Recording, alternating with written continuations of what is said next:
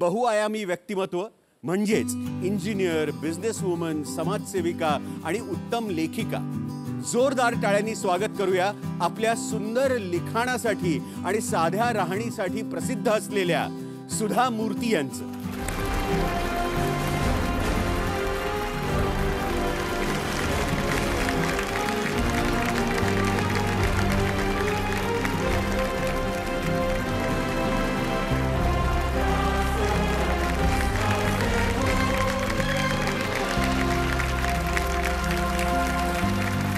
कॉलेजमध्ये असताना मी एकटीच मुलगी होते क्ला- क्लासमध्ये इंजिनिअरिंग हां. मध्ये.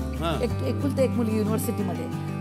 आणि सगळे नाही म्हणायचं नको म्हणायचे. आणि आमचे प्रोफेसरना पण एकच डेस्क मला ठेवायचे. लेडीज टॉयलेट नाही बांधले होते. क- म्हटले तर हे नाईन्टीन सिक्स्टी एट साली. मी इंजिनिअरिंग जॉईन झाले. तेव्हा म्हटलं हे लड हे मुल मुलगी करतच नाही इंजिनिअरिंग ते पुरुषप्रधान आहे त्यांचा सब्जेक्ट आहे. तिला होतच नाही. म्हणून ते म्हटले "ओ, पैसे वाया करा कशाला करायचं? टॉयलेट नाहीच बांधले ते. आणि तेव्हा मला जाणवलं की टॉयलेट नसले तर काय त्रास आहे. त्यामुळे मी नंतर इन्फोसिस फाउंडेशन सुरू केल्यानंतर सोळा हजार टॉयलेट मी बांधले. वा.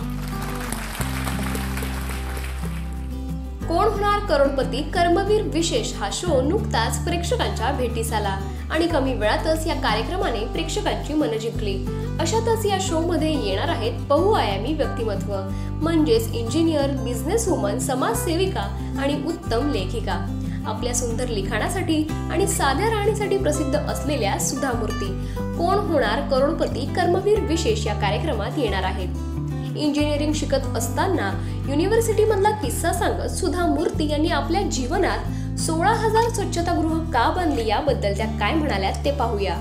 मी कॉलेजमध्ये असताना मी एकटीच मुलगी होते क्ला- क्लासमध्ये इंजिनिअरिंग हां. मध्ये एक एकुलते एक मुलगी युनिव्हर्सिटीमध्ये. आणि सगळे नाही म्हणायचं नको म्हणायचे. आणि आमचे प्रोफेसरना पण एकच डेस्क मला ठेवायचे. लेडीज टॉयलेट नाही बांधले होते. का म्हटले तर हे नाईन्टीन सिक्स्टी एट साली मी इंजिनिअरिंग जॉईन झाले.